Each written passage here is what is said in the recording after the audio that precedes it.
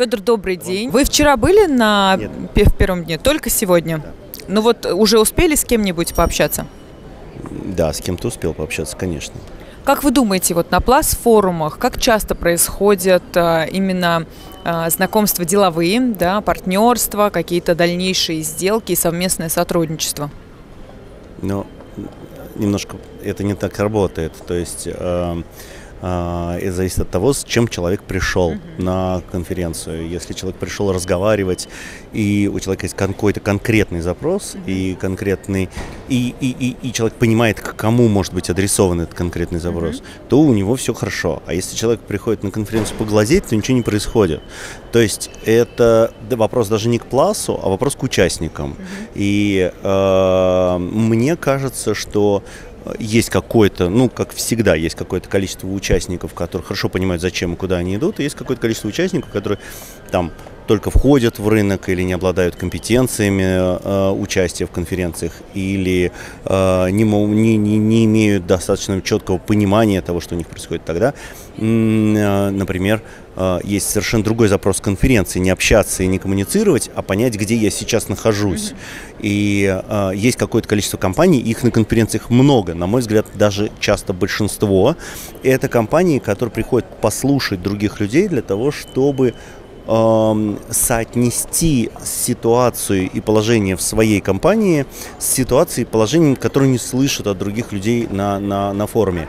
И эм, э, чтобы на выходе, э, сопоставив их, э, как понимать, какие вообще варианты движения вперед есть. А дальше уже следующий подход – это поиск э, контрагентов, поиск э, э, там, систем для, для следующего роста, поиск э, форматов, ну, то есть там, да. но в первую очередь понять, ага, я могу вот так, я могу вот так, я могу вот так, а вот там, а вот этого варианта у меня вообще нет, потому что его, в принципе, в природе не существует. Вот это вот такое соотношение себя с рынком, взвешивание себя с рынком, это так, на самом деле основной запрос к конференциям.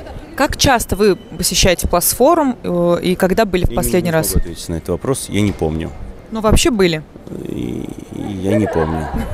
Слушайте, ну я выступаю больше, чем на 50 конференциях в год. Я не в состоянии это вспомнить. Вы сегодня обратили внимание на выставочный зал? Да, Заходили? я прошелся по выставочному залу. А, Да, я прошелся по выставочному залу. Что интересного для себя приметили? Может быть, кто-то новый был для вас? Какие-то новые предложения? Смотрите, вопрос не совсем ко мне, потому что я, я аналитик, и я занимаюсь исследованиями рынка.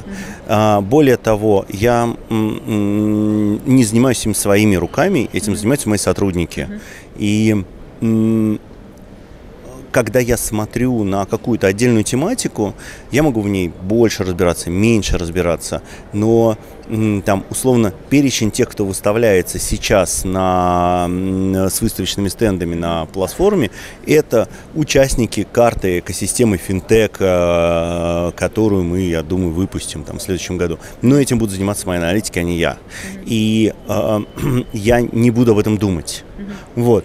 Поэтому я не думаю о том, что интересного, что неинтересного. Я пробежался, посмотрел по стендам, посмотрел, как они оформлены, посмотрел, как на них работают. Ну, выставка как выставка, все как обычно, ни- ничего другого нет.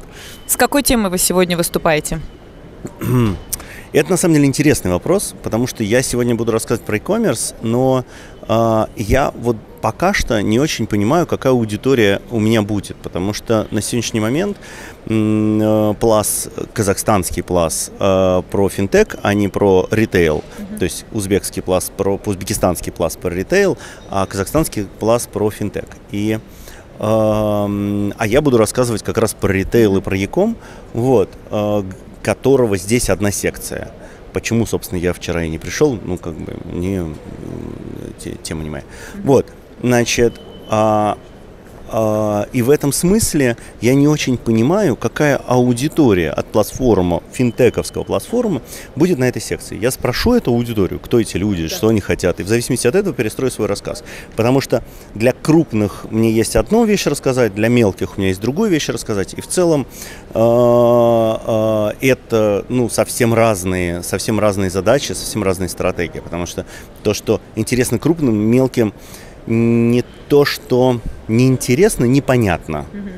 Вот. и не будет понятно, им не нужно это. А то, что интересно мелким, крупным не интересно точно, потому что, ну вот как вы меня спрашиваете, что э, вы интересно нашли на стенде, вот и, и я вам говорю, слушайте, эти мои сотрудники занимаются. Вот там будет то же самое, mm-hmm. когда я, если там придет кто-нибудь из крупной компании и э, захочет узнать про ИКОМ, а я тут начну говорить, вот тут вот в CPA модели надо вот такую вот штуку включать. Они скажут, ну эти мои сотрудники занимаются. Да. Ну то есть, ну как бы неинтересно, не, не попадание. Вот, поэтому я спрошу, посмотрю, в зависимости от этого буду перестраивать то, что я буду говорить.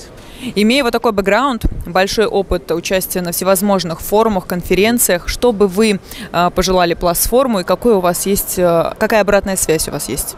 Ну, меня всегда ставит в тупик такой вопрос, что я могу пожелать людям, которые успешно делают и хорошо разбираются в том, что они делают.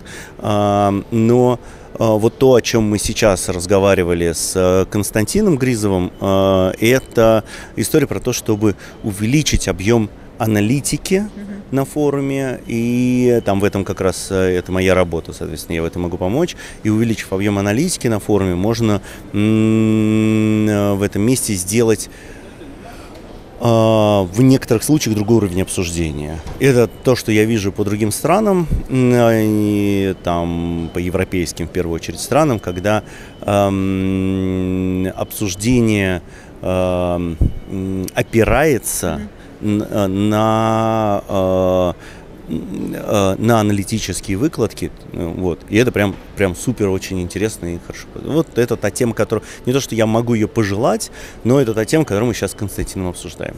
Одним словом, попробуйте описать платформ сегодня. Одним форум –